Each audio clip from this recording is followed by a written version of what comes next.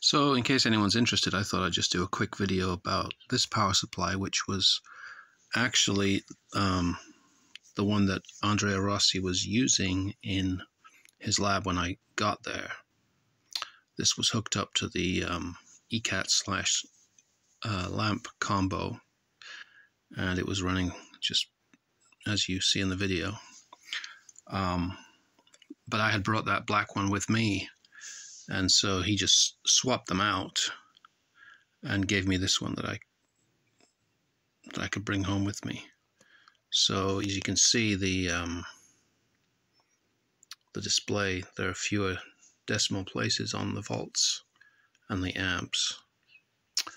But apart from that, it looks pretty similar.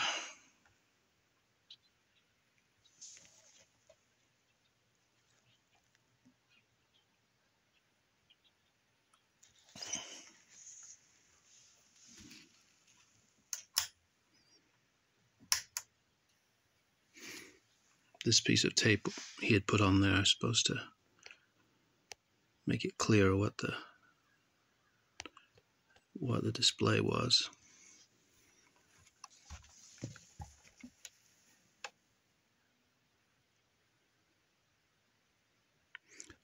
I was going to try and find an identical power supply, but this one I could only, he'd given me the details prior to me uh, visiting but uh, this particular one was not available except in China, and I had no idea how long it would take to get here.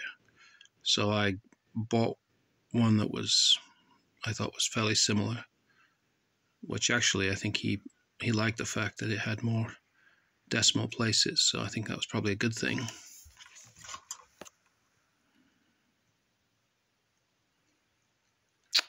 Uh, the cord the cord that is being used was actually one that was this this is a US cord. As you can see it goes goes into this power strip. This is not the one the cord that was being used because we just he just plugged his own cord which was for European use. So this is just a regular US cord that I had here.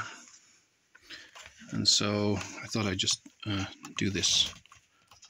I did a test showing the measurements when you use a resistor. So I'm using the same 220 ohm resistor. And I will hook it up.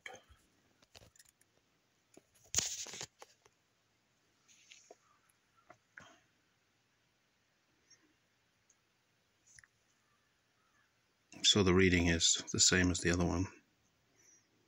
I think it's should be 0 0.045 ohms according to Ohm's law.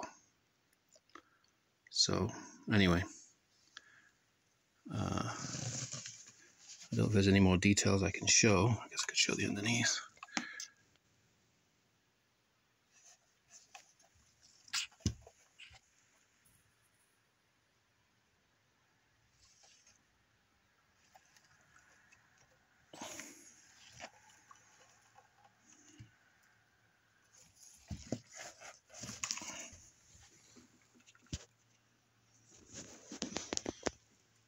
So there you have it.